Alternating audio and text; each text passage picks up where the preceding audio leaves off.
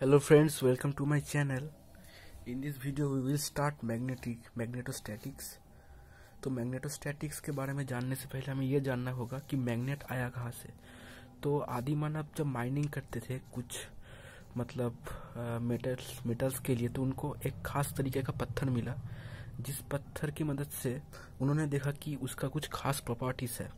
जैसे कि वो कुछ उनके औजारों को, लोहे के औजारों को अट्रैक्ट करता है। उसका कुछ पार्ट एक दूसरे को अट्रैक्ट करता है और कुछ पार्ट एक दूसरे को अट्रैक्ट नहीं करता। वो एक दूसरे से दूर जाता है। तो ऐसे ही था। और ये जो मैग्नेट्स थे ना, ये तो हमें माइनिंग करते वक्त मिले थे। और इन मैग्नेट्स के लिए तो एक मैग्नेटिक फ़ील्ड होता है। तो ये जो मैग्नेटिक फ़ील्ड होता है तो इस मैग्नेटिक फ़ील्ड में इस मैग्नेटिक फ़ील्ड में किसी भी एक यूनिट नॉर्थ पोल के, आइसोलेटेड यूनिट नॉर्थ पोल का मोशन क्या होगा? इसका जो कॉन्सेप्ट था, वो एक इलेक्ट्रिक फ़ील्ड में एक यूनिट पॉजिटिव चार्ज के मोशन का सिमिलर करके बनाया गया था। तो देखिए इलेक्ट्रिक फ़ील्ड में एक चार्ज पार्टिकल के ऊपर फोर्स क्या होता है? One by four by epsilon naught Q one Q two by R square. तो वैसे ही अगर हम सोच ले कि मैग्नेटिक फ़ील्ड में एक, यूनिट आइसोलेटेड नॉर्थ पोल है तो फिर उसके ऊपर जो मैग्नेटिक फ़ील्ड जो फोर्स देगा वो होगा F M mu zero Q four by four by Q M one Q M Q M two by R square जहाँ पर क्यू म्यू ज़ीरो है मीडियम का मैग्नेटिक परमियाबिलिटी और जो एक यूनिट नॉर्थ पोल ऐसे तो इम्पॉसिबल है पर फिर भी ऐसा एक कॉन्सेप्ट था पर यूनिट नॉर्थ पोल होता नहीं है, ये हम इस लॉ की मदद से प्रूव करेंगे। तो ये तो था ओल्ड कॉन्सेप्ट पर जैसे जैसे सिविलाइजेशन और भी आगे गया, इंसानों को और भी शक्तिशाली मैग्नेट का ज़रूरत पड़ने लगा। तो तब आया इलेक्ट्रोमैग्नेट का कॉन्सेप्ट तो इलेक्ट्रोमैग्नेटिज्म आया एम्पियर के एक एक्सपेरिमेंट से। एम्पियर ने क्या किया था? एक वायर लिया था और उसके अंदर से करंट फ्लो किया था। और करंट फ्लो और उसके ऊपर एक मैग्नेट को ऐसे रख दिया था, ऊपर था नॉर्थ पोल, ऐसे साउथ पोल था। उन्होंने क्या देखा कि जब करंट फ्लो हो रहा है तो नॉर्थ पोल का डिफ्लेक्शन हो रहा है। और तो देखिए तो Newton's according to Newton's first law, अगर कोई एक्सटर्नल फोर्स नहीं होगा तो डिफ्लेक्शन नहीं हो सकता। तो ज़रूर यहाँ पर कोई एक फोर्स जनरेट हो रहा है। तो ये फोर्स कहाँ से आ रहा है? ये मैग्नेटिक फोर्स है। वरना नॉर्थ पोल डिफ्लेक्ट नहीं होता। तो ज़रूर इस तरफ़ एक नॉर्थ पोल और इस तरफ़ एक साउथ पोल क्रिएट हो रहा है। तो उन्होंने ऐसा एक लॉ दिया था हमें कि अगर कोई बंदा एक करंट कैरिंग वायर के ऊपर से अपने दोनों हाथ फैला के स्विम करे तो आ, उसका डाइनी हाथ जिस तरफ़ होगा मैग्नेट का नॉर्थ पोल उसी तरफ़ डिफ्लेक्ट होगा।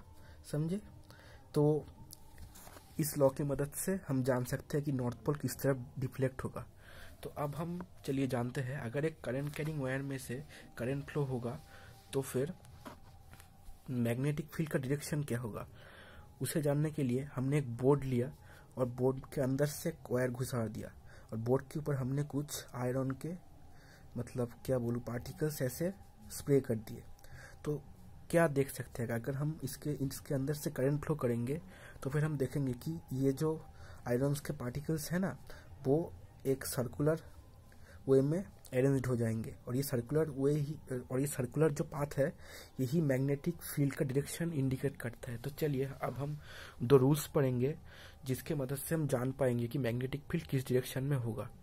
तो पहला रूल है thumb rule right thumb rule तो इस रूल में क्या बोला जाता है कि आपका जिस डायरेक्शन में करंट फ्लो हो रहा है, अगर अगर आप उस डायरेक्शन में अपना थम को रखें और इन चारों उंगलियों से वायर को ऐसे पकड़ने की कोशिश करेंगे तो फिर इन चारों उंगलियों की तरफ़ ही मैग्नेटिक फ़ील्ड होगा। समझे? और दूसरा रूल है हमारा कॉर्क स्क्रू रूल इस रूल में क्या बोला जाता है कि आप जिस डायरेक्शन में करंट फ्लो हो रहा है, उस डायरेक्शन में अगर आप डाइनी पाक के मतलब राइट शूट स्क्रू को रोटेट करेंगे तो रोटेशन का डायरेक्शन ही होगा मैग्नेटिक फ़ील्ड का डायरेक्शन तो समझे? तो अब हम देखते हैं कि अगर किसी करंट कैरिंग वायर में करंट फ्लो होता है तो उस तो उसके पास के किसी पॉइंट में मैग्नेटिक फ़ील्ड का वैल्यू कितना होगा, उसको डिटरमाइन कैसे करेंगे? तो उसको डिटरमाइन करने के लिए हमको एक लॉ है बायोसवर्ड लॉ है ये। तो ये इस लॉ की मदद से हम डिटरमाइन कर सकते हैं। तो इस, यहाँ पर देखिए, एक करंट कैरिंग वायर है, और उसका एक स्मॉल लेंथ एलिमेंट है डीएल तो इस लेंथ एलिमेंट से आठ डिस्टेंस में एक पॉइंट पी है। तो हम इस पॉइंट में मैग्नेटिक फ़ील्ड कैलकुलेट करना चाहते हैं। तो देखिए, बायोसबर लॉ क्या कहता है? मैग्नेटिक फ़ील्ड इसमें जो होगा डीएल ये एलिमेंट्री लेंथ के लिए, वो डीएल के प्रोपोर्शनल होगा। इस वायर में से जो करंट जा रहा है, उसके प्रोपोर्शनल होगा। फिर ये जो एंगल है, ये जो एडजॉइनिंग लाइन और करंट फ्लो की डायरेक्शन के साथ जो एंगल है, उसके साइन के प्रोपोर्शनल होगा। और इस डायरेक्शन के स्क्वायर के ऑपोजिट के साथ प्रोपोर्शनल होगा। मतलब R to the one minus two के प्रोपोर्शनल होगा। तो हम इससे क्या लिख सकते हैं? Del B is proportional to ideal sine theta by R square तो D B equals to K ideal sine theta by R square तो के एक कॉन्स्टेंट है हमारा। ठीक है? इस के का वैल्यू हम कैलकुलेट कर सकते हैं कि के का वैल्यू आता है mu zero by four pi mu zero है परमियाबिलिटी ऑफ़ एयर और ज़ीरो मीडियम तो आप देख सकते हैं। तो यहाँ पर हम लिख सकते हैं D B equals to mu zero by four pi ideal sine theta by R square ठीक है? तो आप देख सकते हैं डीएल को हम ऐसे लिख सकते हैं DL cross R cap equals to D mod D L mod R cap sine theta तो मॉड आर कैप तो यूनिट वेक्टर है तो आर कैप यूनिट वेक्टर होने की वजह से ये वन हो जाएगा तो ये डी एल साइन थीटा है तो हम डी एल साइन थीटा को ऐसे भी लिख सकते हैं, और फिर अगर हम, अगर आर कैप को ऐसे लिखेंगे R cap equals to R vector by mod R तो फिर ये ऐसा कुछ हो जाएगा D L cross R by R cube तो हम टोटल मैग्नेटिक फ़ील्ड होगा इंटीग्रेशन करेंगे तो हमें मिल जाएगा। ठीक है? तो अब हम देखेंगे म्यू ज़ीरो का वैल्यू म्यू ज़ीरो का जो वैल्यू है, वो होता है four pi into ten to the power minus seven henry metre inverse ये हेनरी मीटर इनवर्स कहाँ से आया, हम अभी बताएँगे। पहले हम इसकी यूनिट देख लेते हैं। तो पैरासोवर लॉ से हम देख सकते हैं कि इसका जो म्यूज़िक इक्वल्स टू होता है four pi R square del B by ideal sine theta.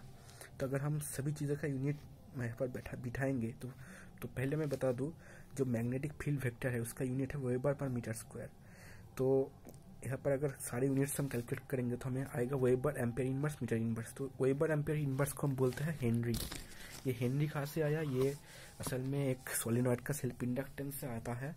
ये देखिए, अगर ये एक सोलिनॉइड होता है और अगर उसका सेल्फ इंडक्टेंस एल होता है तो फिर मैग्नेटिक फ्लक्स का यूनिट होता है वेबर और करंट का यूनिट होता है एम्पियर तो वेबर एम्पियर इनवर्स इसको हम हेनरी बोलते हैं, ठीक है?